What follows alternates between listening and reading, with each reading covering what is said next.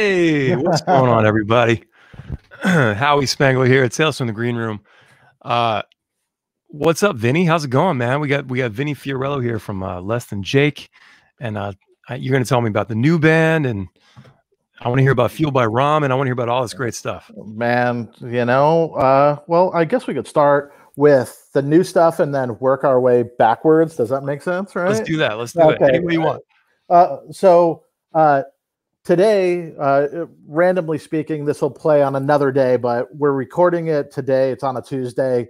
The following Monday from now, uh, I'll be basically uh, it'll be the debut of the first song that I've been a part of since kind of uh, leaving the the Jake world behind and, and not touring and things like that. And we'll get there too, but uh, I'll be launching the Inevitables, and the Inevitables came about with a conversation about an idea that I had with Obi Fernandez from Westbound Train.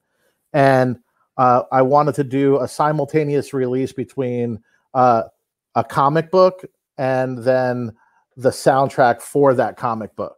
So we assembled a, a cast of players as well as a script writer to do the comic book, and we'll be launching the Kickstarter uh, next Monday.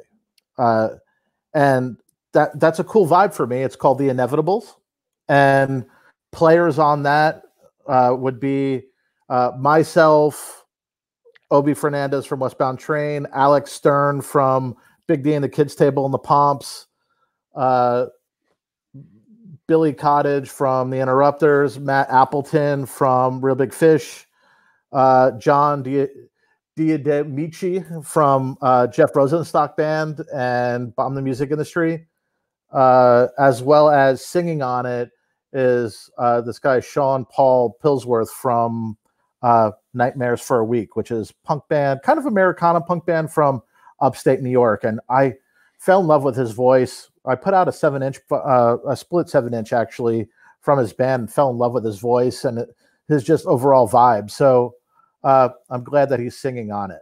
But uh, we started working on it in November, man, and kind of built the world and wrote the songs, me and Obi and Alex. And we did it remotely, which is crazy to me, you know? And then as soon as the pandemic hit, uh, it was okay, well, we've been doing it remotely anyway, so let's just continue the arc. So everything that uh, is being recorded and being mixed, uh, it's all done uh, remotely by the players that are involved, which is wild, but it also shows you how far technology has gone, man. Dude, that's incredible. I love this. It's so it's like a it's a a, a project full of all stars. You know, um, yeah, there's some some some good names there, man. Yeah, and, uh, heavy hitters. Heavy hitters, great players.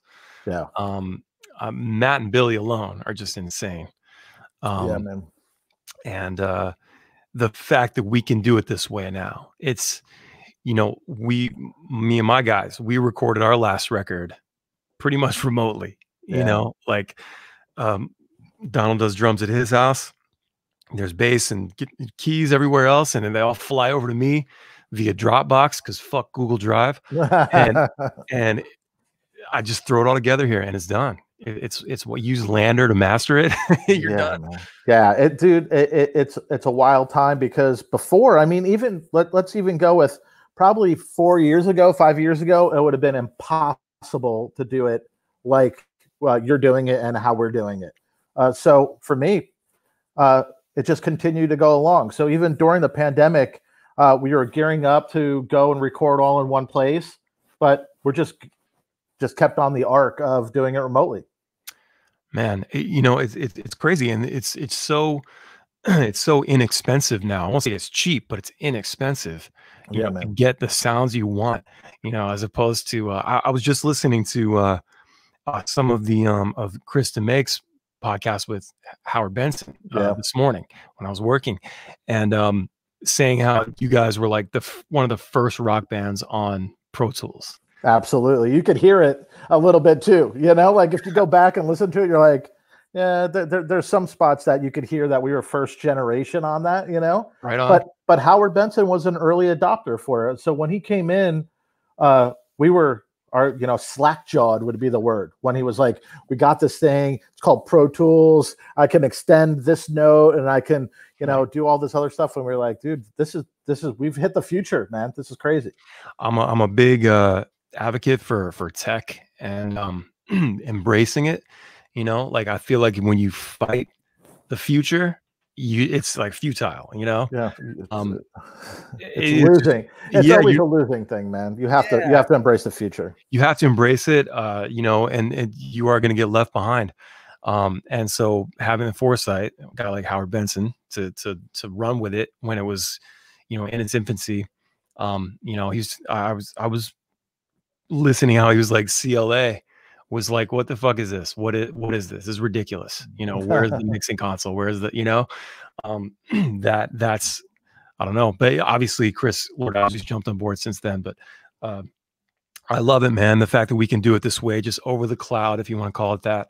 Yeah. Um, and uh, all it takes is uh, is a little bit of gear, knowledge, and little professionalism, you know, and and you can have a great record, a great yeah. Sound. Well, here's here's the thing that I always, you know, we we've done uh, tours, you know, you know, myself and yourself, uh, Ballyhoo and, and Less Than Jake in the past, and the thing that I always appreciated about you and the band, you always were working, always hustling, whether it be, hey, I'm gonna do this, you know, acoustic vibe on YouTube, I'm gonna do the podcast that we're on right now, and it's a constant hustle of a a playlist or a Spotify you know, sort of moment of trying to get more playlist on it.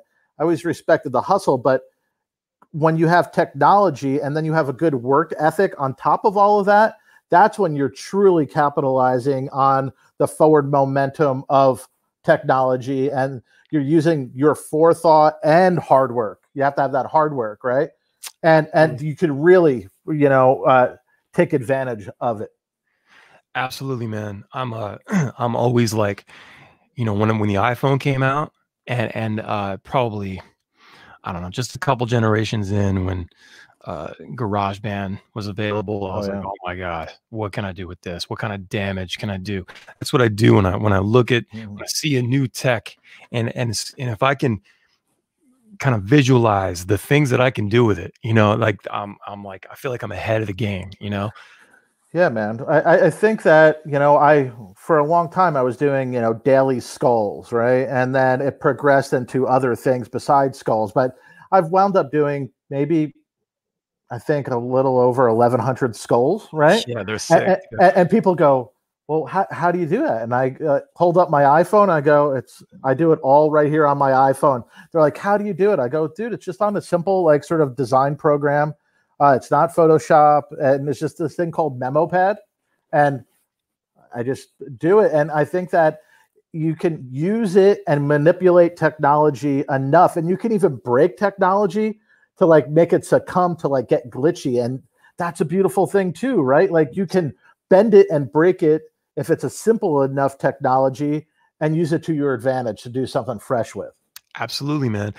uh, I can relate that to recording as well. So, like back in the day, when when I, you know I've seen a bunch of tutorial videos. I've never personally worked in, in like a full analog setting, like mixing and things like that. Um, but when you hear about these guys, yeah, we used to work on analog desks, and uh, and what happens is you there's these harmonics that are like specific to that desk, you know. Mm-hmm. Um, just because of the analog with the circuitry and stuff. And uh, harmonics and a little distortion things um, things like that. Well with digital it's so clean.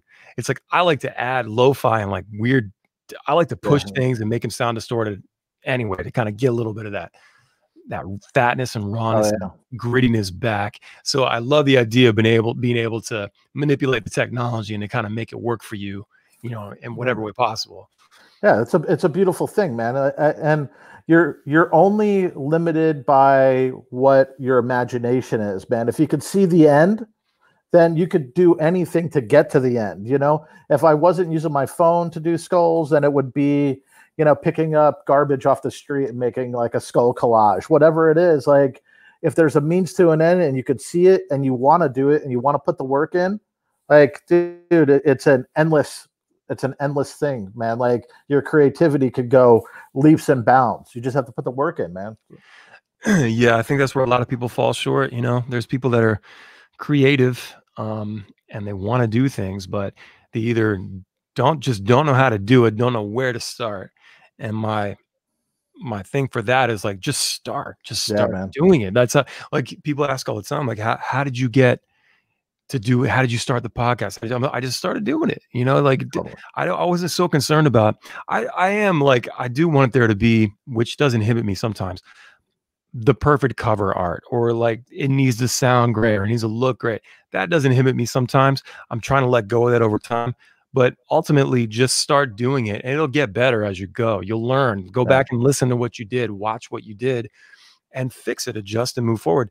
And um, so they either don't know how to do it or people are just too lazy to go do what they want to do. You know, it's true. It's it's just like you know if you want to see things through you have to take it into your own hands and you can't wait for others you know?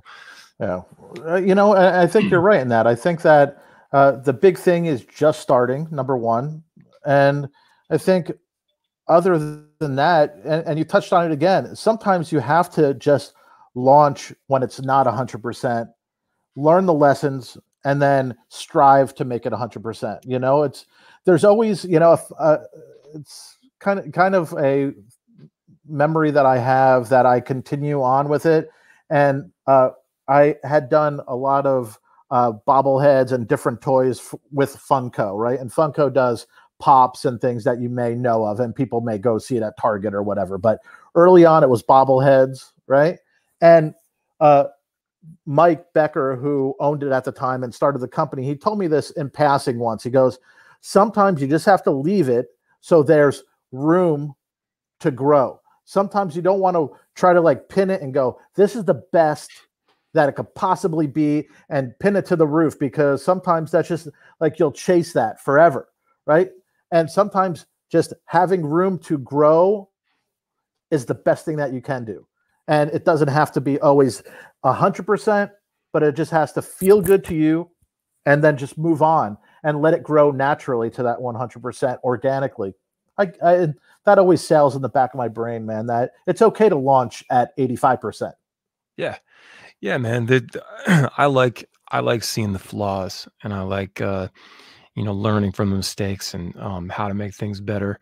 Uh, when when it's something that you know when when it's like a song, when you're like writing a song and you've recorded it and it's out, um, I wouldn't say that's out the window because you can always, you know, could do a, a new version later or, yeah. or, do an acoustic version and do something different.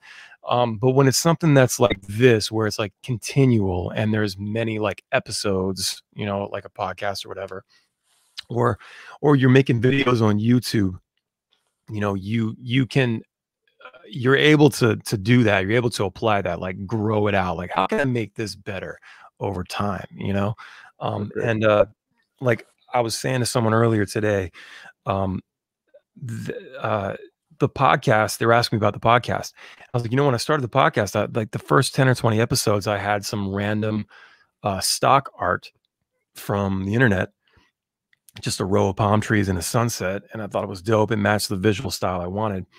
But, you know, it was like a stock thing. And, and even the photographer like messaged me like, bro, that's my art. I'm like, oh, I'm sorry to get, you know, I'll take it, I'll change it. He said, no, no, no, it's a royalty free thing. It's fine. I just thought it was cool that you used it. Um, but I did that because I just wanted to get something out. I want, I was tired of waiting. I was ready to put it out. Let me go on online and find a stock free photo for the cover. And then, you know, 10, 20 episodes in, I finally designed my own thing and put it up. So when you go back and you'll see those old episodes, they'll have that cover art. Um, yeah. I love that. When I, when the first few episodes of me, just from two years ago talking, I'm like, God, I sound like an idiot, you know? and, and like, there's so many uhs and ums and I still have that, but I feel like I've gotten better over time. I can hear it. Um, whereas the general listener is going to not think anything of it. Yeah. But you know that's just going to happen. I, I love it, man. The progression, uh, the growth. Um, and I'm thinking of all these other things that I can do. You know, now it's like totally. I've, I've, tried different things on my YouTube channel. Like I do the song of the day. I've done vlogging. I've done uh, Green Day covers. You know, on guitar. Like just because I love Green Day. Insomniac's my favorite album, so it's like I don't care if anybody, if I get two views, I'm just going to do this because I love this band and I'm going to do this, you know? Um, it, it's a, uh, and, and no, they don't get the most views. Actually, the song of the day gets the most views. So it's, it's just, I don't know, man. I just found that like you can, look, it's also free R and D. You get to see what works best if you True. try a bunch of things. And then once you figure it out, you start whittling it down and you, you double down on that content, you know? Yeah. You know, it's when I had stopped touring, I always liked doing art and I always kind of like doodled around. Like I said, like did the skull of the day thing for a really long time.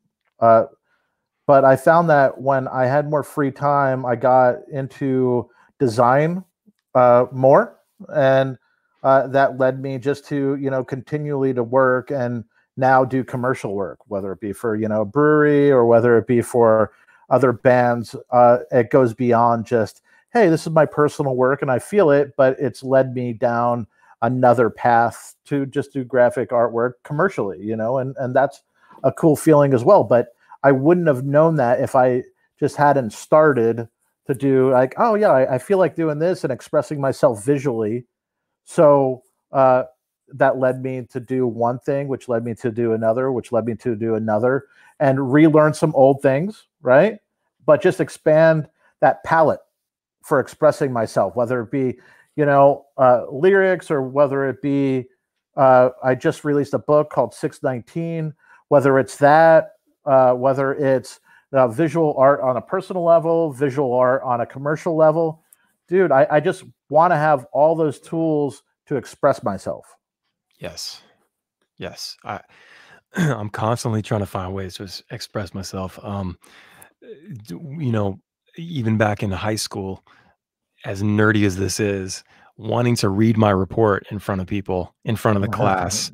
You know, I mean, it's so dorky and nerdy, but I, I, I want to go, you know, but like, um, it's a way for you to get it out. And so the podcast was a way for me to express another, in another medium, um, my thoughts. And I figured I could give my, my experience, my knowledge from from being in a band for 25 years now, uh, and just and the touring and recording and co- shitty contracts and all the things. I feel like there's some value to that, and yeah. there has been value. I see people message me all the time, and they're wearing the, the podcast T-shirt now, and like coming to me at the shows when we when we used to play shows. I don't know if you remember that or not. uh, so you know, coming to me the merch table saying like, dude, I love the podcast. It's it's it's like helping me. Even if they're not an artist, they're getting entertainment from it. And it also they get some insight into what it is to be, you know, a touring artist. Um yeah. And it was a way for me to get all that out. Uh the next thing, I think the next thing for me is uh probably selling my art, which I've gotten some messages about that um recently, and then writing a book. Uh that's yeah, probably my next thing. And the book is going to be very I'm going to do it by myself. So it's going to be very plain and not too clever. It's direct thoughts, you know. But uh, uh, you know, I thought it'd be a, a, cool thing for people to get inside my mind. Um, but yet another way for me to express my art. And that's and, and not only that, on top of all that, you're you know sort of on that creative aspect of it, and that's cool. But it's also if you think about it on the business side, it's just another like little, you know, trickle of income that comes in to make a bigger picture, right? Yes. And I think that's important. I think that at, some musicians are, I'm okay being a musician and I don't want anything else. This fulfills me 100%. But I always sit down and talk with younger bands and go, you should always think about another income stream, no matter what it is. It doesn't even have to be related to music. But if your dad knows a trade, which like a woodworker dude that I know. Like his dad uh, taught him how to do that when he was young, and now he's making guitars and making drums uh, outside of what the band dynamic that he's in, right? And I think that's important, man. I think that like if you can make a living being creative, then you should. And if that means being a producer or putting out other people's records or a manager, you know, write books or you know, uh, present art for people to purchase or do commercial art whatever it is. I think that's super important in this day and age. You have to do that. Hundred percent. I think. Uh, I think the idea of um, multiple revenues uh, and passive income is not a new thing, but it's certainly the that idea has grown and gotten more popular. Yeah, the the I, the idea of passive income's always been there as long as people have been renting property, right? Like, Right, and that right. just is what it is. But I think passive income uh, started to gain traction inside the music community. Mhm. You know, and I think that it jumped the shark when you had, you know, very popular musicians going. I, I have a, a beverage company. I have, you know, a, a t-shirt company. You go back maybe about 15 years, you started to see it really ramp up. And even from smaller bands to huge artists. And uh, it, it's important to have that, uh, especially now. We're in COVID, right? Mhm. Uh, we both said before this started, uh, how you doing? I, I'm as busy as I've ever been, you know, and same for me. And I think that's because just shows that there's a lot of irons in the fire outside of the touring world of what people see. it's certainly uh, as as awful as it's been, you know, and it's all how you look at it, I guess. It has really exposed some some wonderful things. Uh, Yeah. There's a lot of potential. Uh, I don't uh, I don't think I think the live stream live streaming has been here for several years, um, probably over a decade, but it's i- we're only seeing the beginning of something great. I think I think it's really ramping up, and is now going to be when things get back to normal, it's not going away. It's going to be a component to the tour, to an album release, to well, if albums are still a thing, right? Yeah. Um, a single release, whatever. Bands can uh, now now that fans have been sort of groomed and conditioned to uh, uh, know that they can support and by donating to to their artist. Um, you know bands are going to be using this using live streams pre-tour to raise money for a bus or uh, you know a rental vehicle or raise money for hotels in in ways it's going to be used in ways that that we never did it before um and uh online merch like i know for us our online merch store uh sales have been going crazy because we're not at the shows doing it right yeah. um, now it's probably going to level out when we get back to touring. So you may not sell as much at the show. Your- merch guy might not be as happy because they're not getting as big of a cut. But you're you're you're making it up on the online side, and people are so used to just paying for things online now. You know, I feel like yeah. there's a lot of things that are being exposed in in, in the best way.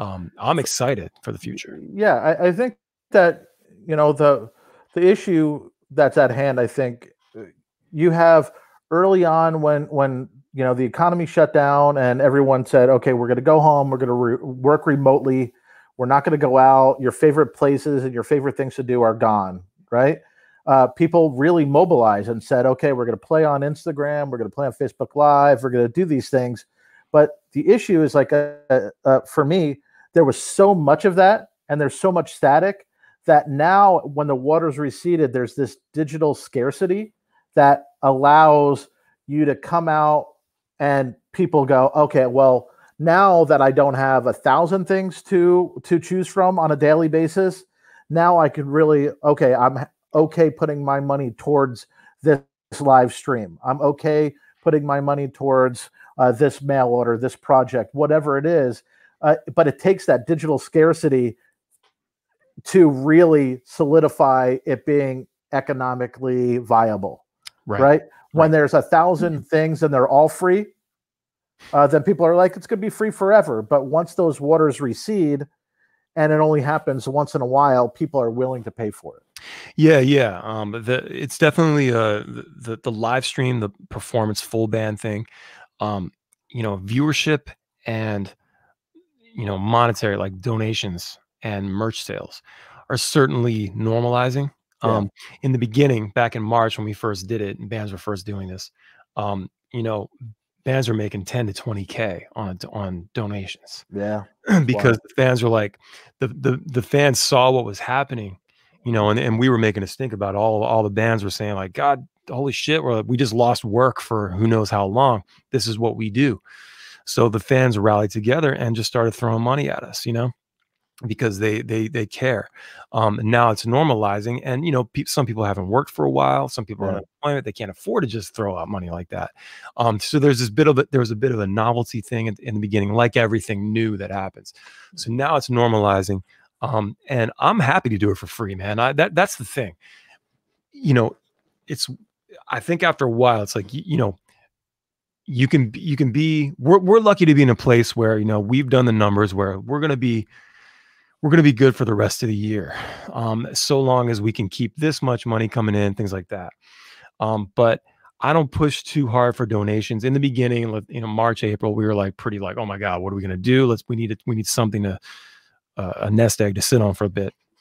But but we're lucky enough to have a huge catalog. We got a bunch of videos out there on YouTube, things that are passive income that we yeah. created over time. That's why I stress bands to like release things all the time. Just keep going. Just don't think about it. That that one and a half, two year album cycle is over. It's been over. Yeah. You need to release every month, two months at the most, single, whatever. Get your grow your catalog, go on YouTube. You've got to be these days, you know, well, I'm starting to go off on a tangent. These days, it, people get people stick to they cling to tradition, um, and like the recorded album is what like 70 years old, like the full album, yes, roughly, and that was be, that became the norm, and it was like for me, and certainly for people that are like, you know, 25 and under, and like they don't they don't really care about albums as much, you know, and and it's it's just a it's a it's a part of just the the natural progression of things. Um, you know, we we switched to MP3s in like 03, you know, as when when iTunes came out, like and really got a hold of it after Napster. Napster shook everything up. Um, and I feel like clinging to to tradition is going to be a downfall for a lot of people, a lot of artists. Um, yeah. New artists, not so much because this is just what they're used to. But anybody that like you and I that are from the 90s, they're doing this stuff. Um, we have to sort of unlearn that and and learn the new music industry. Um, and I feel like, and you've you've run a label for years, so you can definitely tell me what you think about this. But um, I think that uh, you know, um, you need to keep releasing. The streaming has leveled the playing field in a way that you have to make more noise, um, and the best shit's going to stick out uh, and so the only way to create more noise and to stay in the conversation is to release things frequently, six to eight weeks for a single or whatever. Um, if you release an album every two years, it's like that's forever, you know? Yeah. Well, you're in the conversation for, you know, uh, three or four months, and then it becomes a touring conversation after that, right? Right, right. Uh, you know, I, I have two mindsets on that because I think that your thought on it where you know it's a single based release schedule and you're sort of in that vibe that works for some bands i think that for punk rock music mm-hmm. uh it, it's hard to work it into that because the listener still likes the album experience the, sure. you know the vinyl record and and that and you could get there with that and i have no doubt that you can kind of uh, dribble out singles you know three singles first and then drop the record that those singles are on, which I I I in the back of my brain always go back to on the inevitables thing is what we're going to do as well. You know, by the time you can hear the full record, which will be at the end of October, will be three singles deep on digital platforms, right? Cool. Before you could hear the full thing. Right. Right. So uh, I agree 100%. I think that there's always, you need a fluidity no matter what in business, right? So mm-hmm. if, and you said it earlier, when you see something that's working and you whittle it down and then you go you know uh, you concentrate of what's working and then you just keep on picking at that right? right. Until that moment where it changes again and then you have to change with it or at least try to. Yeah yeah you have to be open. Um and so i i just recently uh, have have really wrapped my mind around this because you know like i said a few minutes ago like i'm I we we had that 90s 2000s mentality of releasing uh, for years, and I, in a way that I think it was kind of our, to our detriment, where I wasn't really paying attention to what was happening so much with Spotify and stuff like that. You know, let's say 2013, 2014, and um, uh, I'm not saying that the album is dead. Uh, I, as an artist, I like the idea of having, you know, your theme with the cover art and a collection of songs, 10 or 12 songs that flow together. um, and and uh, I still think there's value to that, and I think Yeah. your listeners, like your big fans, love that. That, like you said, they love having the vinyl, looking at the artwork. I'm totally for that. I think in the scheme of like, uh, you know, uh, business and staying in the conversation, we do have to adopt the, uh, you know, dropping the singles. And and there, look, and there is a point where, and I got a perfect example of this, where um, so there, there's a new technique, and I'll try to make this short. There's a new technique that a lot of artists are using um, for last year, two years, that I've noticed, and we've been doing it. Uh, is that you release your single, right? And then the next single, you release the second single, uh, right? But you take the that previous single and stack it underneath it. So you only promote the new single, or whatever's coming out, but it has the previous single there. Third single, same thing. Take the previous two, put them under. It's like stacking. It's like waterfall. So what this does is two things. Uh, for your for your fans, it's a, might be a little bit confusing. I just think it's gonna it's gonna be something that's adopted more, and it's gonna become they're gonna be more used to it. But it puts everything in one place. Mhm. Um, so they're not like driving and backing up. Oh, there's the first thing. Oh, where's the other single? It's all in one place. Um, for the artist, it's more of a strategy for generating more streams. Where if they you, you promote the new song, and then they it just plays through to the next one and, and the next one. The more you stack up, so you generate more streams. This also takes those previous songs. Now you don't know what's happened in the last six months since the first single, and say you've got three or four out now, and they're all there together. you've probably got some new fans in the last six months that haven't dug into your catalog yet, and they'll go, "Oh shit, this song's been out for six months. They didn't know about it." That's a good thing. Um, Absolutely. the other thing is that uh, it it puts all the songs back up in your top five, top ten on Spotify. Um, you generate you generate new life for for your previous singles, and so uh, where this gets funny is that you know you can keep doing that. We were going to keep doing that. Fuck it, let's take the songs off from the last year and put them on one thing because it's basically like a a, a greatest hits record or whatever you want to call it. Um, let's get back, you know, take it back for a second.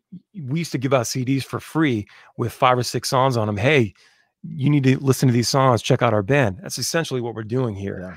Um, and but at like 26 minutes or 27 minutes duration, maybe a little less. I got I got to look at the number on Spotify and Apple Music and iTunes. It categorizes that an- as an album. So Mhm. no longer do you have a single or an EP. Suddenly you have an album and you're confusing the shit out of your fans. Oh fuck, you got an album, but I've already heard these songs. So there was a little bit of that with our new release. And that's where we learned. I was like, okay, well, I guess it's album number eight. So it was like a, it was a surprise album and the fans. Uh, so that's something that we learned, and I'm not mad about it. As an artist, I'm like, eh, yeah, it kind of messes with my artistry a little bit, you know, how I wanted it presented. But I, I like, I love the cover art. It- you know, why not? These are great songs. Album number eight, whatever. So now I know. So maybe, maybe we do this waterfall thing up to five or six songs, and then on the seventh single, start it over again one and then two and then three you know and then who knows there i th- i guess what i'm getting at is there are many ways now that we can release it's not just traditional couple singles here's an album you know what i mean Yeah, man. I mean, and I think that there's always been uh option. I just think people were so trained by our trainers, right? Like you have to remember, like there was a walled garden in the 90s of distribution. Yeah Like no one knew how to get distribution. It was just something that you tried to do. You didn't know, but I think the great like you know neutralizer and energizer for music was opening up for just, you know opening up distribution digitally to anyone. Right? So you didn't have to go to the keymaster and go, can you get us in X store or online for XYZ? Now you could sit in the comfort of your own home and you could upload it to the dashboard and that disseminates it across all of the digital platforms. And it's a beautiful thing, right? Mhm. And I think uh, my policy, just to go back to what you're saying now uh, for the inevitables and for future releases that I'm doing through paper and plastic, it's the record has three singles before the full album comes out. So the person will see the art, understand it's a record, but it'll be that cascading waterfall of songs. first single, and that'll be the first and second single, and it'll be that new single, and then the first and second single below yes. it, and then the new record. The rest of the tracks will come out, right? Yes. And I think that that makes sense because you have people who had downloaded that one single, but now other things are popping in to where they had downloaded it, you know, or pre-saved it or whatever it is, right? Yeah. It's it's it's a great way to have a fan and continually enlighten them on you releasing music. Um, yeah, and th- this model also, uh, I forgot to mention, and you may know this, but this could be, be good for listeners. I think this is great advice. Um, is that every time you release a single, so with Spotify, Spotify is the leading. Let's let's be honest with this, right? Playlisting things like that. You got to use. Make sure you have your Spotify artist uh, page in place mm-hmm. uh, for your your um, behind the scenes shit and back end, and use the Spotify submit tool. Get on release radar. So so what happens is you use release radar every time you have a single. Well, if you put out an album, you get one chance to do that. If you break up the album into singles, let's say you break it into six singles and then you drop the record, you get six chances to get on release radar, which will happen every time. There's there's a guarantee as long as you're seven, you submit seven days before the release date, uh, which you should be submitting way longer before that. But you will definitely get on release radar, and that's why I say don't worry about monthly listeners. Worry about uh, followers. Get your followers up because what happens is Ballyhoo just hit 80,000 followers on Spotify. Now, every time we put a single out and we submit, our it goes to release radar of all 80,000 people that follow us. And anyone that didn't listen that first week, it actually gets a second bump in the second week on the release radar again. Um, and I think people still don't really know about release radar and discover weekly and things. Um, so think about that. It's like you get a chance every time to get on release radar and get more streams from that. And you get a chance to uh, get in front of the curators uh, with your submission. Yeah, man. Possibly get on a playlist. Whereas if you do it on, on an album with like 12 songs or whatever, you get one shot. You only you can only submit one song. Yeah, play, playlist playlist should be the the number one priority for all new artists or for all young artists, right? Totally. Uh, I, I think that uh, that's how you get in front of eyes and ears, man. Like you're there, you're there because of you know, let's say it's you know pop punk or ska punk daily or you know like uh, new new ska punk or whatever it's called yep. right uh, those people are are trained to kind of go there and pop up and it's well you know let's say it's you know I, will go with ballyhoo you know if someone goes for Slightly Stoopid's new track and happened to see ballyhoo four or five down i mean and didn't hear of you which i don't think is possible but in that world right Right. Uh, you never know and go, hey, there's this band I never heard of. It's Ballyhoo. And then they start to do the deep dive, or even if it's in the shallow end dive of just the first couple tracks, right? Sure. Uh, newest. That's a beautiful thing. I think that any young band should be diving into playlists. And for paper and plastic, it's a constant mantra for me going, let's see what we could get playlist. Let's let's go. Let's go after these playlists because that to me is the most important thing. And then, you know, press and all those other things, you know, fall underneath it. But playlist, number one priority, man. Uh, I think it's incredible that uh, we live in a time where, you know, we, I, I still see some artists fighting streaming in favor of CDs. I'm like, bro, that's a dead technology. Yeah, man. Um, and what do you get when you get a CD? Okay, you get artwork and you get this physical thing that the, that you can have the band sign, you're gonna put it in the car on the dashboard and listen on Spotify anyway, right? Um, also with a CD is you may listen to this thing a thousand times, but it does nothing for the band after that, other than you knowing the songs and possibly getting a couple of friends to come out and buy a T-shirt, which is great. That's all yeah. valuable. But if you listen to my song a thousand times on Spotify, you're helping us way more than you can imagine because yeah. of the algorithm you know, the more action that the song gets, the more the algorithm poke. It's like it's like poking at the algorithm. It goes, oh shit, oh what's this? Mm, let me give this to people, people that haven't heard the band before.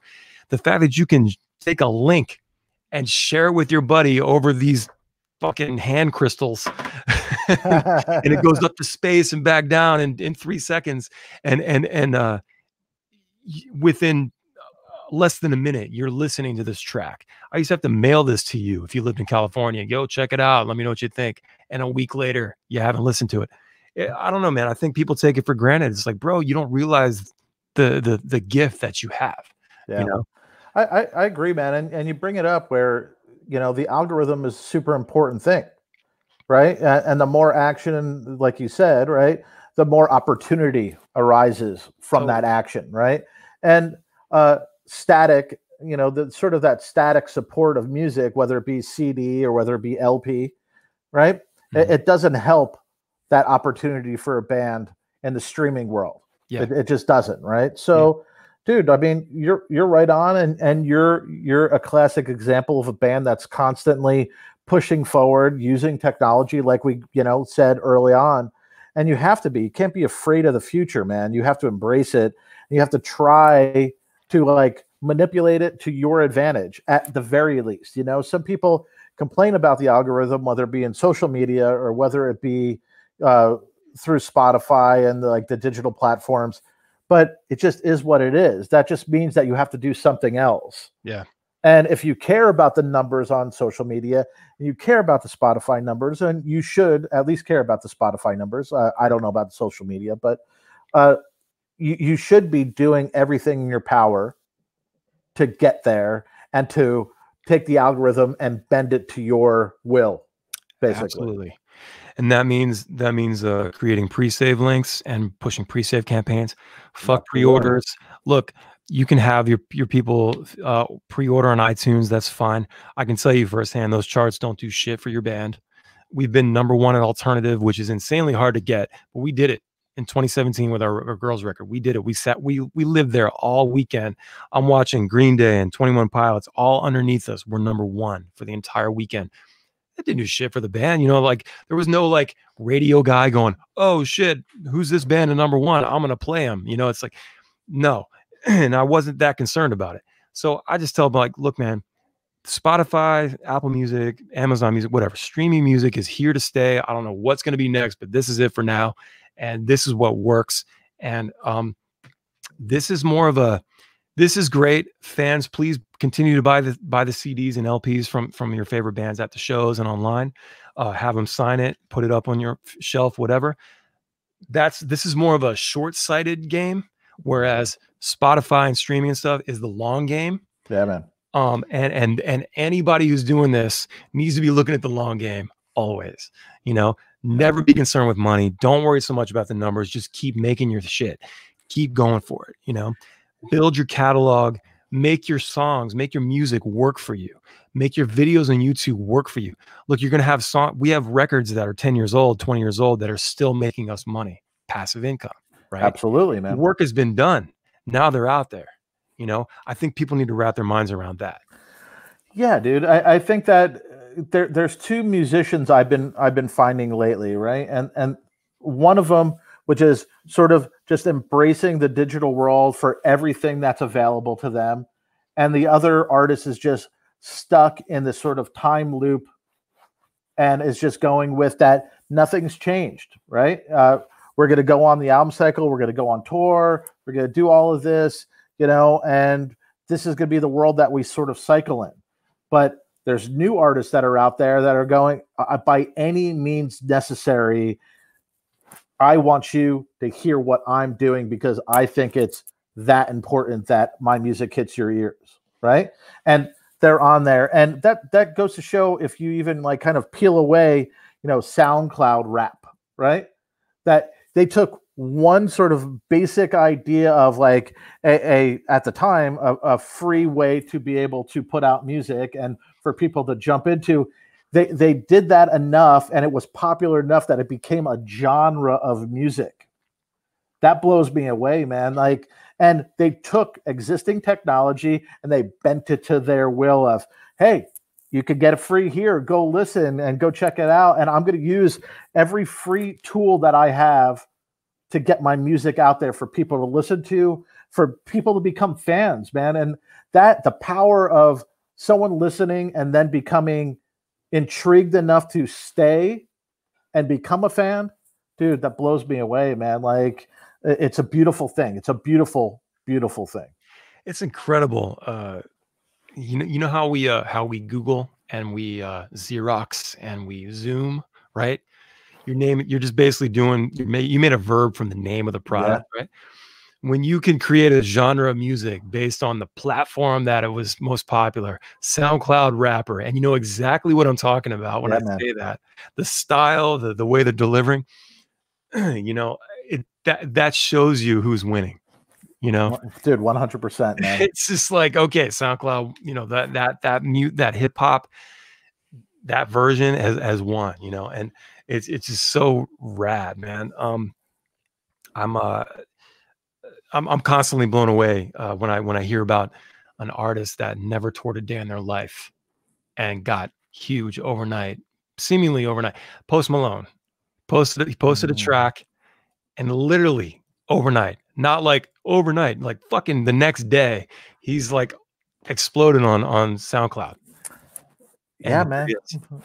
You know that that's weird, but if you even peel it back and go, hey, there's bands that I know that in the '90s that didn't even have records that were touring and became bands that could be able to fill a thousand, two thousand seats in a club, and they just were on an EP. They released an EP It was before their full length, and they were already, you know, going out and touring, and they gained such notoriety touring that physical music was, eh, we'll get there when we get there. I, if I remember correctly, uh, Creed actually, funny example. um, Creed actually, they had a manager that would like for whatever reason, I mean, their music. I mean, that look, their first record. I mean, I liked it. It was it was like good rock music at the time. Yeah. Then it just kind of hammered it home and got cheesy with it. But um, they're an example of they just would tour and people just fell in love and just they just gather people in droves. Now you know how hard it is to go out there and tour for years and just slowly collect and build a fan base. There are some bands like that that can just just scoop them up by the truckload. Yeah, and man. every time you come back, there's 300, then there's 700, then there's 1500, and all of a sudden you're in an amphitheater, you know, and then there's platinum record sales, whatever that means anymore. But, um, you know, that, that, that always amazed me too. Uh, the, the certain bands that could just go out one time and just all of a sudden, next time they're out, they're just, you know. You know what? It, there's a band i don't know they were on Drive-Thru Records and it was probably maybe if you're paying attention to Drive-Thru Records and like that that late uh, 90s uh, early 2000s but there was a band called steel train. Okay.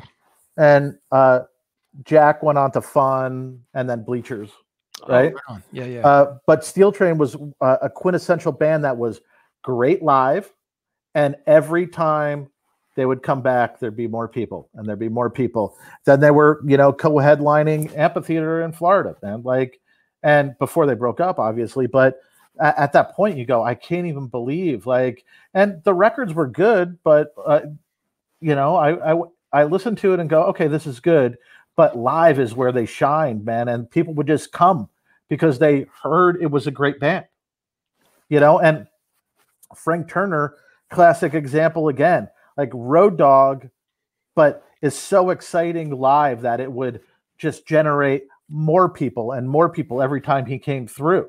And it's just a success story of an artist being, you know, that electric, that magnetism live that people just wanted to see it every time that he came. Not skipping like, oh, it's a Wednesday night, I can't make it. It's, oh shit, Frank Turner's here on a Monday night. I'm going to be there with my boys and we're going to drink and we're going to sing. And until next time he comes through, it doesn't matter what day, we'll be there.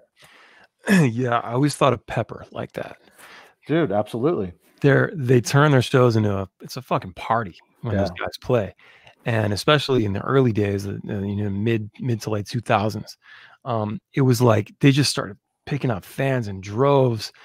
Those guys have so much charisma on stage. Yeah. Bret is a great frontman. Bret is like, he knows the right things to say. And I've told him this many times. I'm like, bro, you're like, you know the right things to say. I sound like a fucking idiot when I talk when I talk between the you know what I mean? Like, and you guys, like, as less than Jake, like, I mean, Roger and Chris had the best banter. Yeah, like, unmatched. It was It- you guys in Blink 182. You know what I mean? For banter. So Chris and Raj, uh, classic banter back and forth. Uh, Chris like honed his like sort of like fat Mike ish skill, right? Like that, like kind of like delivery, and it was beautiful, man. But I agree with Pepper too, man. Like that's a classic example of a three piece, and each one of the guys brings something to the stage and makes people just want to like it, man, and Yeah. and want to go all in. They all have And- star power. All of them have the X factor, my friend. Yeah. It's it's it's it's very fun to watch. Um, so I, I love that. Um, so with uh, I, can we get into the less than Jake stuff and what, whatever you want, man. yeah? Uh, so what was the okay? You guys started what 92? Yeah.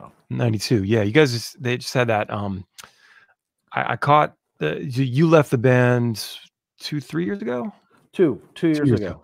Okay, yeah, because I caught the band last year. We were in Kansas City, and uh, they happened to be playing the same night as us. And I, I got over to see the show before our show, and it was like the uh, uh, fuck, was it twenty fifth anniversary or something like that, or uh, something like that. Um, anyway, uh, man, that's a long time to be in the game. Yeah, man. Uh, it was uh 20, 27 years uh, that uh, I did less than Jake, and then it was just a, one of those moments, man. I had uh, a foot injury earlier in the year, and that had me like physically and mentally just kind of like, you know, circling the drain. But at that same time, uh, my daughter was seven at the time. Uh, I just started to kind of realize, man, like want to be around for those things to celebrate, but I also want to be around for those things that are are sad too, man, right? Like you want to be around for those moments and it's hard for musicians sometimes to go you have allegiance to the thing that you love and you have allegiance to the people that you love. Right? And some people can do a really good balance of both. And I did a balance for 27 years of of of personal life and then of band life. And I I would wake up and thinking about less than Jake, and I would go to sleep thinking about less than Jake and and what to do and how to do it. But it came to a point where it was just uh, through the injury and just thinking about what the future is, right? That I just went tour- touring's not for me, man. Like, and it do- it didn't mean and still doesn't mean that I don't love Less Than Jake and love everything about it and love the songs and have passion, but I just needed to make that move, man. Like you had, like in my mind, I had to make that move and uh, to go, uh, you know, five years from now when my daughter's a teenager, you know, and to go, yeah, like we knew each other uh, full time, like not part time Right.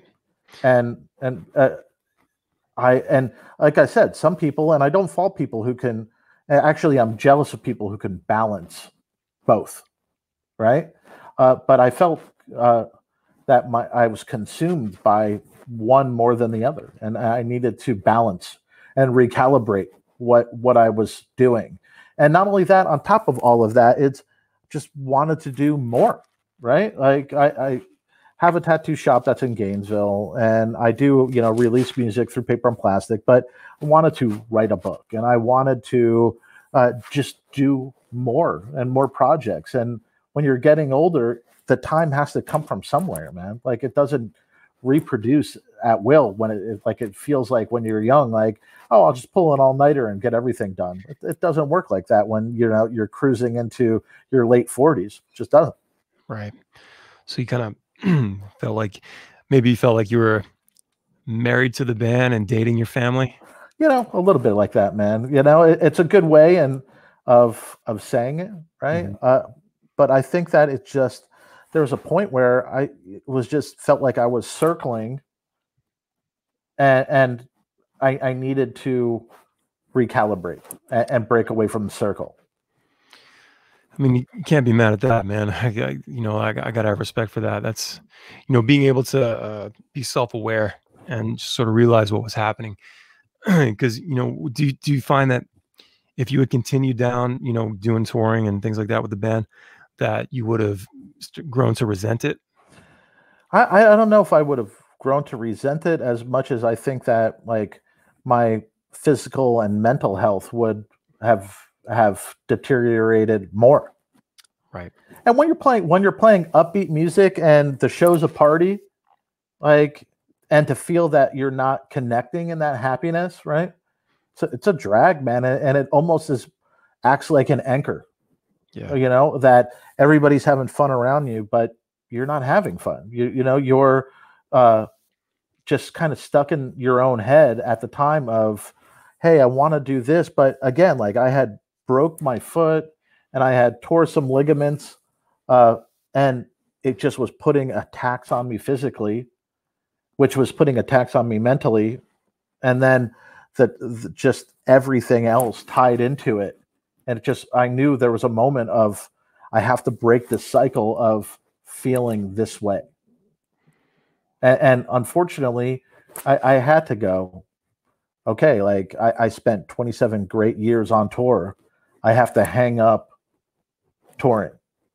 It's unhealthy, you know, and uh, it wasn't because I was, you know, uh, indulging too much. It wasn't because of anything like that. It was just that I felt the love of everything else being drained because of being gone and physically being drained and mentally being drained. Uh, touring, I, I just had to go. Touring's not possible. yeah, I I definitely you know I got two kids myself, and uh, my son just turned ten this year. Uh, my daughter just turned six, and it's definitely uh, it takes a toll on you on your heart and like mentally, you know, obviously, but I definitely miss some things, you know. Uh, the when they're young, when they're super young, when they're babies. I mean, every month they're doing something different. Yeah, man. And new, and like you want to be there for that. I mean, I, my son was born, and three weeks later I left for tour. You know, it was like, you know, and back then we had to be on tour. We had because that's the only way we made money. You know, yeah. um, and it wasn't much money. Um, and this is 2010 uh, when he was born, and so uh, yeah, I, I know what it's like. I've I've never missed a birthday. Um, I've tried not to miss dance recitals. You know, yeah, man. that kind of important stuff. Uh, I always make sure, like, and my brother as well. He's got a boy. Um, we always try to schedule around those types of things yeah. um, because of, the kids didn't sign up for this. Um, and there was a point where I was, you know, before the kids, where it was like nothing matters. I love being on tour you know, and and then that changes. You know, you you have you have to you got to get over yourself, and um, and and yeah, so it definitely takes a toll on your mind and, and your heart, and you're just like, God damn, I I got to be around more, you know, and and now look, I've been home. This is the longest I've ever, I've ever been home since yeah, my man. kids. You know, we haven't toured for almost five months. It's wild. Um, yeah. my last my last show was March first. You know, it's wild. Yeah, and uh, and by the looks of it, it's going to be probably a year of not touring. You know? Yeah, man. Uh, two, uh, 2020 is shot for touring. It's, there's no way that's going to happen. So, uh, spring, summer, 2021, probably somewhere around that. That's what I'm thinking, man. And uh, you know, that's why I think that like bands need to be taking advantage of this live stream and uh, doing quarantine videos like Goldfinger did and like what we did. Like I'm I'm still making them. I just we took a break, but um you know, you gotta you gotta keep feeding the fans. Like to, for me, like um, my my band, I still feel like we're a band that that needs to climb the ladder. We're not we're not where we want to be yet, and and who knows when when that will be. But I I know that there's things that we got to do to stay in touch and stay engaged and, and to keep growing. And and the people that have given us love all these years and that have bought the merch and tuned in and listened to the records, we owe this to them. We owe it to them to not stop. And and I feel like uh, for us to not do anything is like a diss, you know. And it, yeah. it feels like maybe we don't love it as much as we're supposed to, as we as we think we do or say we do. Yeah, I mean, I, I think that you know you have to uh, give back to the people that are passionate about what you do, man. And uh, in times like this, music is the the great like you know foundation for you to stand on and and still stand right it brings happiness, man. And, and but not only that, you become bands become soundtracks to moments, right? And uh, people allow bands into their lives for those moments, the good, the bad, whatever, right? Like, and uh, bands have the honor uh, of of being able to be that soundtrack and be a part. Uh, sometimes, not sometimes, all the time, you have to give back. You have to give back to the people that constantly give to you. You know, and and now's the time where you see people who are doing that or people that have checked out and went, I'll catch you after the pandemic, you know, and and and disappear. Uh, and uh, it, it's a very it's a very cool time for music in general, man. Like, I think that like with Spotify and with Apple Music and whatever way that you're sort of digesting music, it's at your fingertips now, man. Like, oh, I want to hear Steely Dan. Cool, check it out. Like that was a favorite song, one of favorite songs from your parents. Oh, you check it out, right? It's right there. Yep. Uh, oh, you want to hear a new track from so and so, or you want to get Discovery underneath? You know, Ballyhoo's your favorite band, and underneath there's a list of other bands for you to check out that they're the algorithm is suggesting. Dude, all it is a a click away and you're in another world, man, somebody else's world, and you're in another soundtrack to like float through your life, be there for when you're sad and for happy. And dude, it's a beautiful, beautiful, beautiful thing to be a listener of music right now. You raise a a great point. Like what a what a magical time for the musically adventurous. You know, yeah, yeah. I'm not. I'm not. I kind of stick to the stuff that I know, and every now and then I'll find a band. But like, for people that just love discovering music and just taking it in, what a wonderful model. You know, just like, oh, look at that. Who's this? Oh, cool. Let me click that. Love it. You know, and, then, and you just keep going down the rabbit hole. Dude, that's what I do. I I I, I look and I'm online and people are like, oh, I, I found this band, I found that, and I like make little notes for it, and then I go in and make for that week.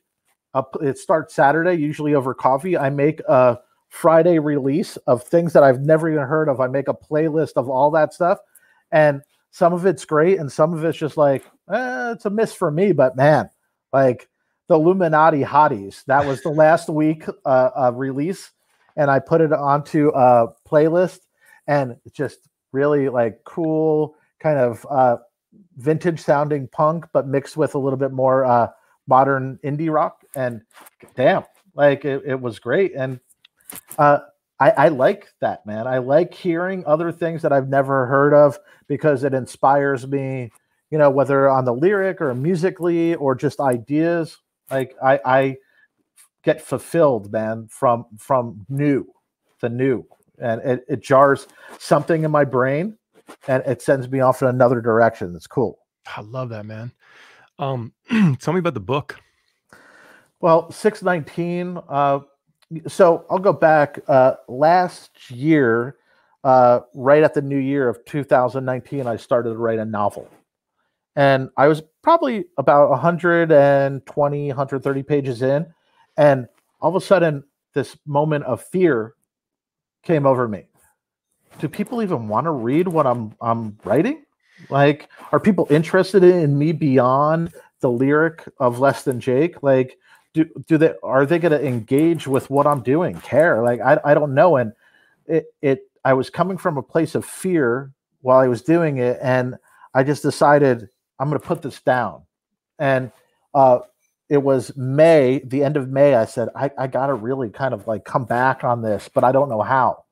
So I decided that in June, uh, every day I would write a short story. So starting June 1st, I would write a short story and it, it reads a little bit more like a, a memoir and kind of beat poetry a little bit right uh, there's a lot of lyrical bounce that goes with it but every day last summer in june i wrote a story you know and so there's 30 short stories cool. and the obvious name 619 so you know june 2019 represents my creative outlook uh, my creative output and my personal outlook for that month so there's some skull art that I did that's in the book that I did during that month. Each story that's in there. And a lot of it, you know, when I describe even the writing for the novel, and I started finishing up the novel, I should be done in October. But uh, for me, I think that uh, it's very looking into the past. It's kind of uh, doing the look to the future as well of what it could be, and then it's making amends of what the present is. So there's a lot going on, but uh, it's a quick read, and I did that on purpose. I wanted uh, the stories, the the person reading the stories, for it to be around that like four to six minute mark, and because of the lyricalness of it, I wanted them to digest it as like a longer song. So when they read it, they get this idea. It's a quick read uh, for each one of the the short stories, and I they could put it down when they want to put it down. It's not this gigantic commitment, but you could get a vibe of how I am as a writer outside the lyrical content of what I've done in the past.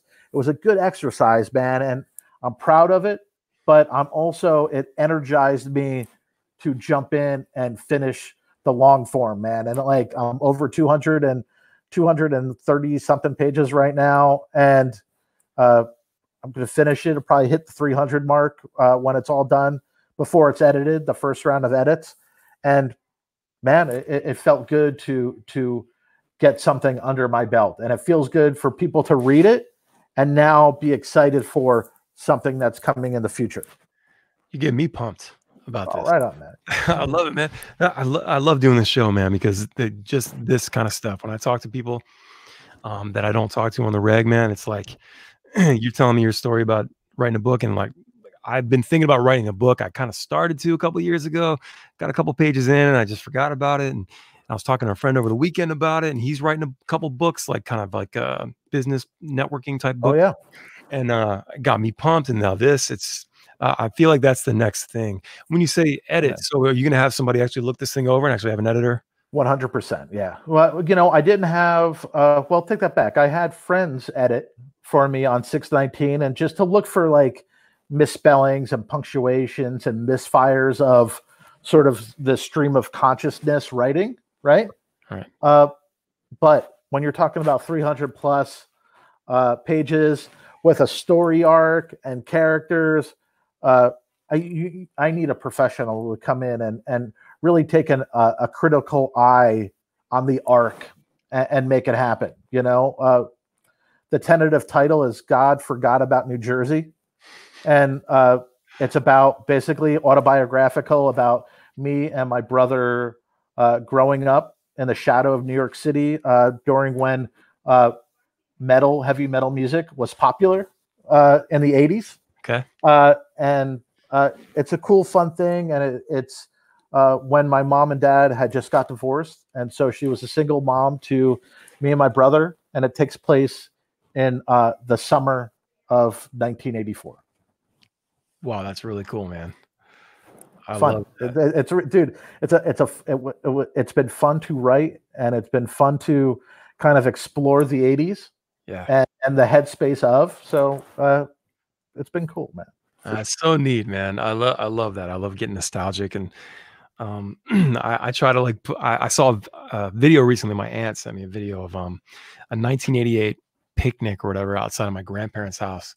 So my brother and I are like six, seven years old, and we're in the video, and like our parents are there, and they're like 30, and it's like the weirdest yeah. thing ever. um, and and, uh, and so I started thinking about like, you know, this is 88. So what was going on around this time? And it had to be like it's not dated, but it had to be like April, May, because I still had a broken arm and I did that in March. Yeah. So how long a cast is supposed to stay on eight weeks, maybe. Um, and so I'm like, wow, my my mom's dad had just passed away like two months before this, and my parents got separated five months after this. Like all these things started going through my head, you know, like wow, the '80s were a crazy time, you know. Yeah, man. Music, I was I was listening to, you know, Motley Crue, you know, and, and Ratt and Poison and shit in in '88 you know, and and waiting for Doctor Feelgood to come out, like stuff like that.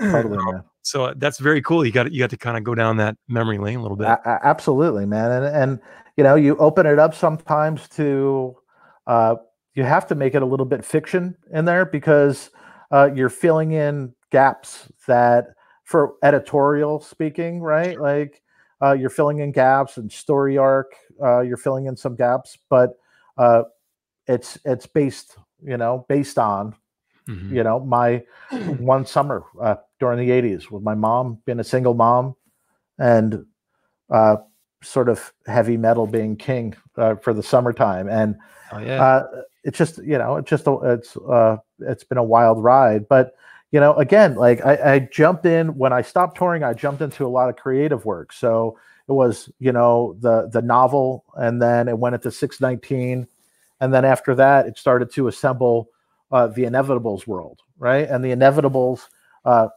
people get to hear it and see it starting monday because that's when the kickstarter launches right uh, and we've been teasing and putting up characters and putting up like a little bit of a song on social media just to get people aware of it.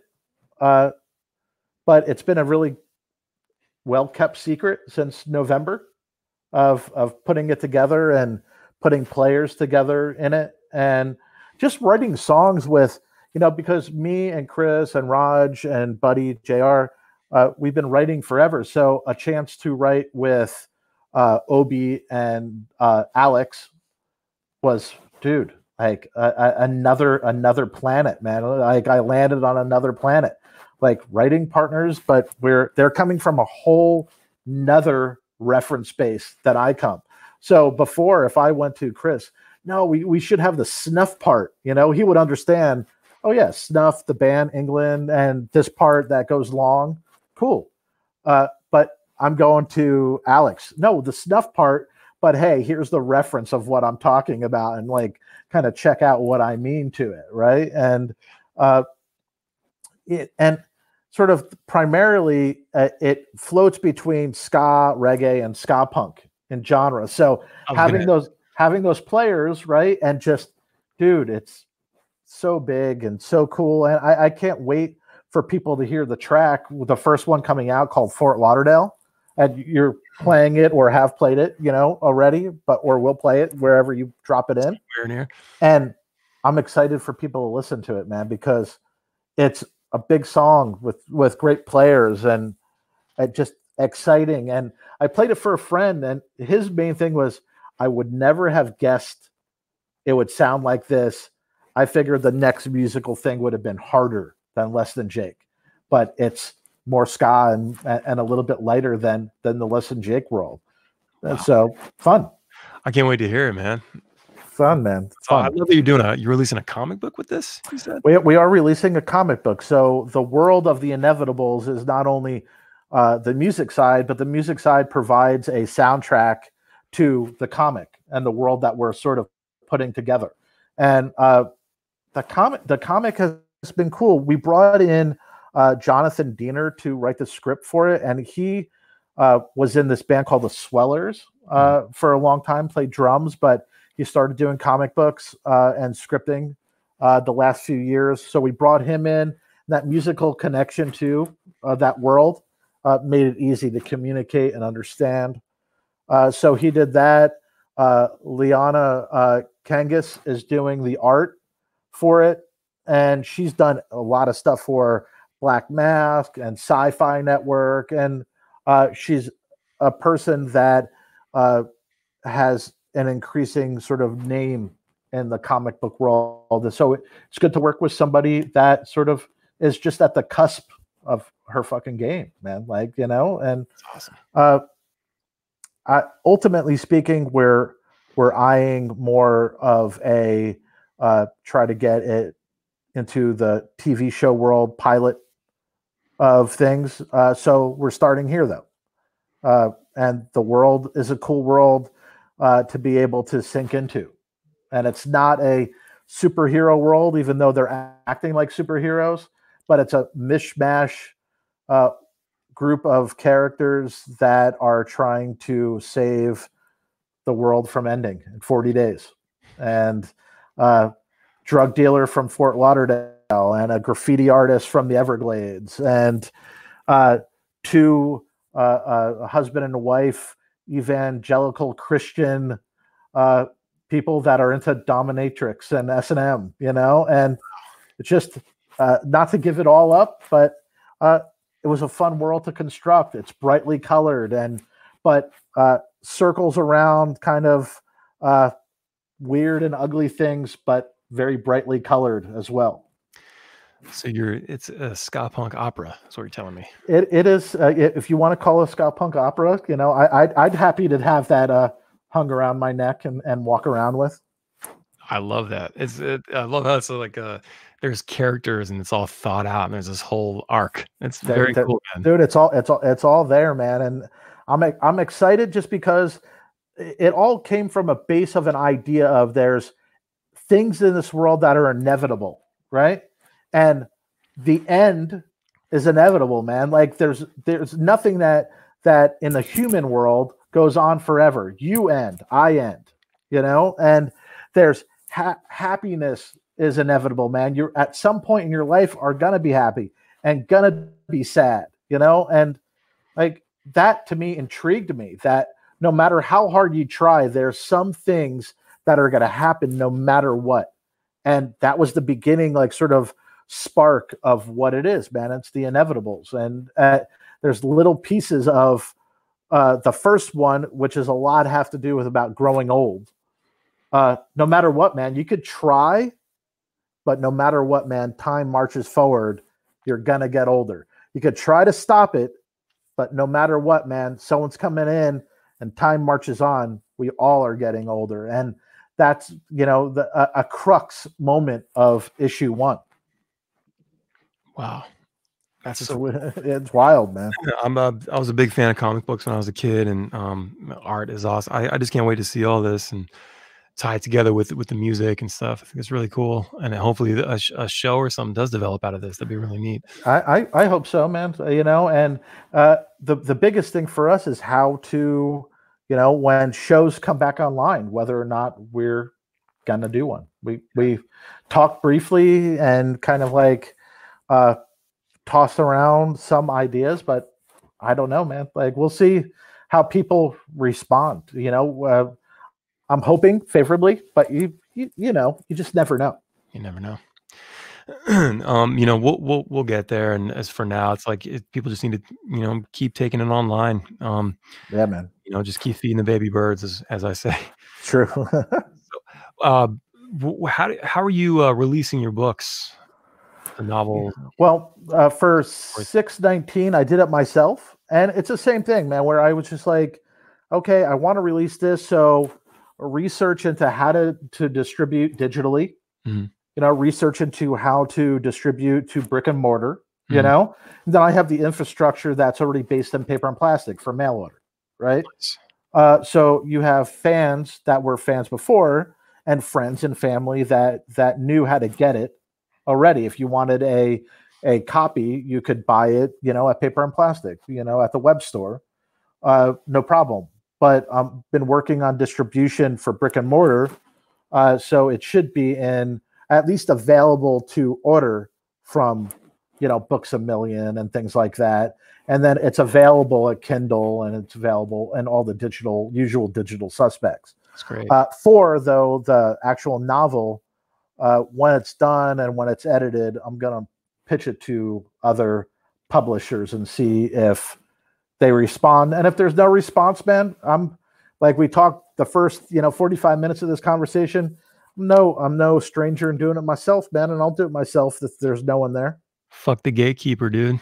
You don't you, you don't need to to uh, kiss the feet of the gatekeeper, man. When all they will do is put a boot against your neck in the future. You know, Yeah, they're So- gonna they're gonna want money, and it's all to you to decide if that deal is good for you. And if it's not good, you can say no and do it yourself. one hundred percent, my friend. I, I love the world we're living in, man. The, the the potential to to grow yourself.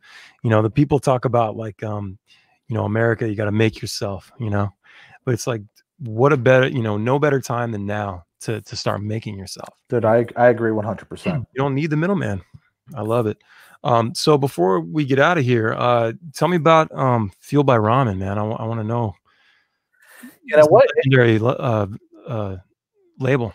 Yeah, man. It, it's it's funny because there was a moment that you know we were talking about that you know it screams the same, you know, where Less Than Jake was on tour in the the early '90s, and we were seeing these bands that were opening up, and you're going, Like, do you have anything out? And they're like, well, we have our demo tape. You know, this was before CDs became really popular, right? Uh, and CDs became the new demo tape, but that's a whole nother like sort of thing, right?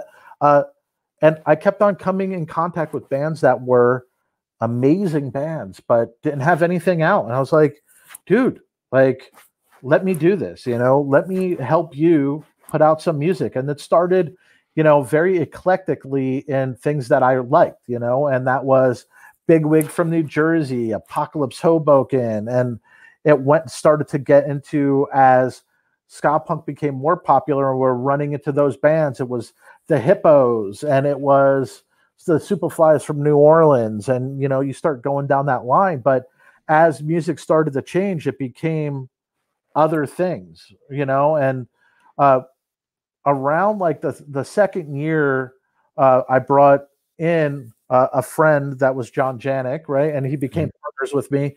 And John, uh, very music business minded, right, all about the business end of it, and that to me, I always go into that.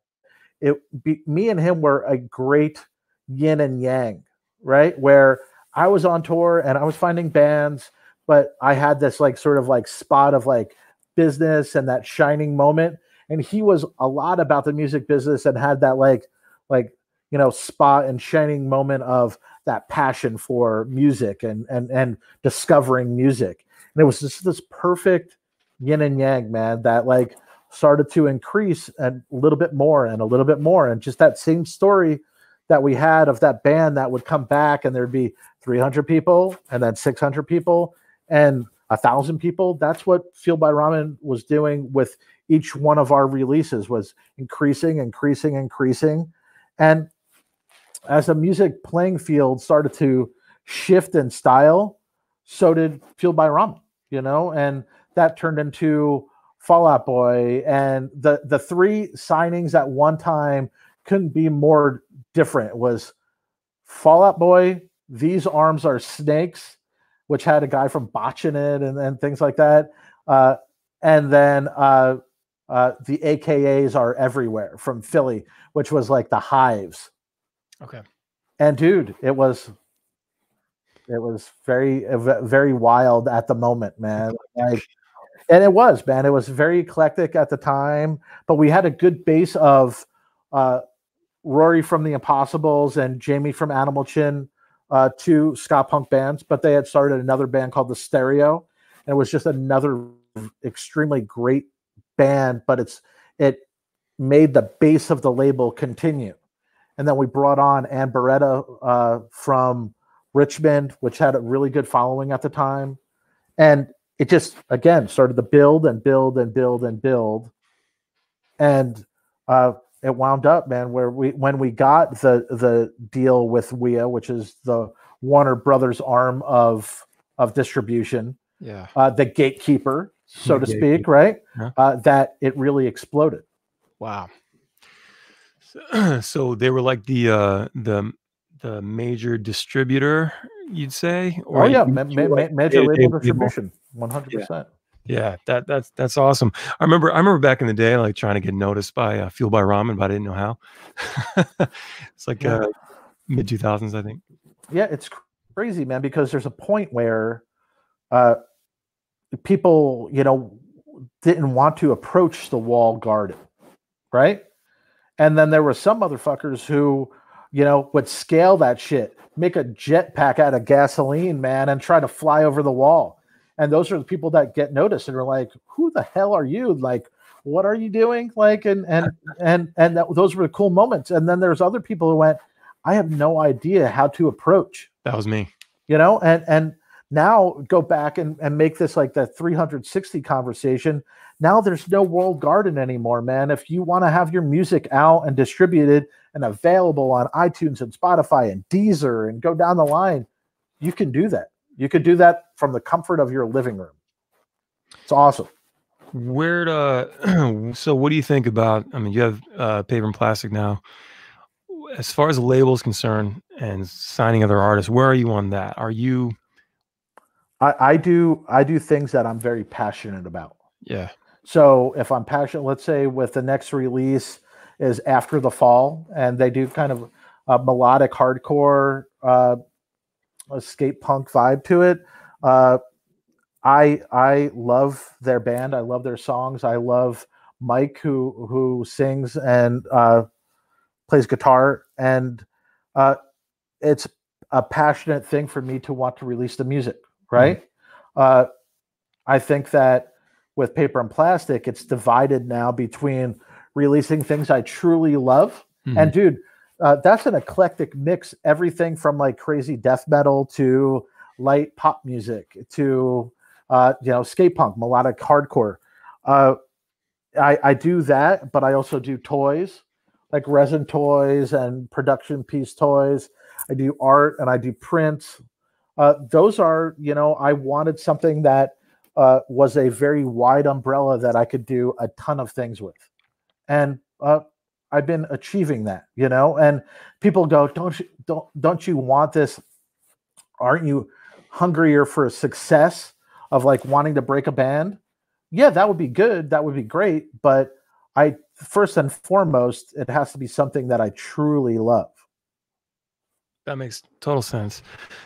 we uh, we have our own label. Um, we started our label in 2013, and I, I'd always wanted to be. I always wanted to run a label and sign bands and help and things like that. Um, so we released a couple bands. Uh, and Uglies is one of them. Uh, Resonate is another one. Um, and uh, we, I kind of got to a point where I felt like we might not be able to help a lot of bands anymore because uh, because of streaming and and free distribution. You know, yeah. and I feel like you know, and unless we have a significant amount of money to help them record or you know, or be able to put them on tour and and kind of get the, give them some some looks because of that. What else do we have to offer? You know, it's like what do we you know, you can do it yourself. You know, it's just how it's one way is going to take a little longer to get noticed or whatever. But so I kind of the, the wind got taken out of my sails a little bit. We still put everything out on our own label, but uh, as far as approaching other bands or responding to bands that that are like, "Hey, we would love for you to sign us," I kind of just don't entertain it anymore. You know, I I entertain it because if I feel that I could come in under the that sort of umbrella of a pseudo manager, right? Saying, "Hey, we should make this game plan. Hey, we should do these steps. This is what you should do." I always considered, and even when I started paper and plastic up to now, I always considered paper and plastic a middle ground between doing it yourself and then being on a larger label. It was this conduit to get to a larger label. I always thought about it like that. I never like had any preconceived like I'm going to break this and it's going to be huge. I just got off on helping smaller bands mm-hmm. navigating and getting to a bigger not necessarily better place, but a bigger place if they so desired. Yeah, that that was pretty much the mentality. I mean, you can't have any uh, illusions of like, oh, I'm going to make your band huge. I was just interested in helping them step up, you know, be a springboard in a yeah, way. Man. And I and, and I just I guess the last several years because of how everything's playing out with distribution and all, you can go to DistroKid or CD Baby or whatever. Is that um, you know, if I don't feel like I can I can really help in a major way and bring a lot of value, bring enough value I don't want to charge anybody. I don't want to take 50% of their record or whatever it is, or, um, you know, however it works out. But, um, so I, like I said, it just sort of, I don't know, I've been less happy or, or less stoked about releasing bands. I still would like to in some capacity. Um, but, uh, yeah, I don't know. I guess I'll figure it out at some point. So I, yeah. I was wondering what your thoughts were. Yeah, man, it, it's all for me. It's all fluid, and I'm just trying to take the experiences that I have and helping younger bands, man. Like, and that and that's you know weirdly part psychological and and part you know uh campaign manager so to speak right like you know you're going hey we should do this and this and this and uh we should do xyz but you know you're teaching some lessons along the way and you're getting them set up to be a career artist, man, if that's what they want, right? Uh, and I, I don't know, man. Like I, I think that it's so easy to do yourself that uh, unless you're bringing that uh, headspace of marketing and and for for all intents and purposes, it's marketing and it's just general guidance, man. Unless you can bring that to a band, there's no reason to put out that record. Yeah, that's that's where I sit with it. Um, all right, so wrapping up here. Uh, so the inevitables new track is gonna be is gonna be out when when this is uh this podcast is out. Yeah, the song's called Fort Lauderdale. Fort Lauderdale, right on. Um, so we're gonna play it here at the end of the show. Um, if you're listening right now, uh, and um, and then which is going to be the future for us. So yeah, man. Um, but uh, so tell everybody where they can find you and the band and any projects you you're working on the books and all that. Uh, you could find me. Uh, I primarily post on Instagram, and you could find me at Wunderland War, which is a U W U N D E R L A N D W A R. You could find uh, any books that I do and any paper and plastic releases that I do uh, at uh, paperandplastic.limitedrun.com, which is the web store for you to check out. Uh, the Inevitables you could find uh, on Instagram at We Are the Inevitables, and you can go to theinevitables.world to go sign up for our uh, newsletter and kind of check out what's going on.